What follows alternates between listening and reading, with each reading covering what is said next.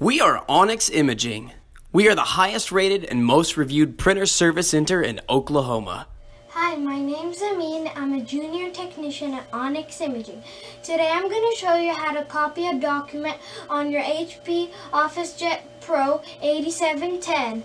First thing, you gotta click copy document. Then you gotta get your document, make sure your document is facing up, slide it in there. Then, then you pick how much you want. This goes up all the way to 99. You can either start it in black or start it in color. And then it should print it. So if you have any questions or concerns, feel free to check out our YouTube channel. If you can't find your answer there, feel free to call Onyx and they'll get you your answer. Thank you. Thank you for watching.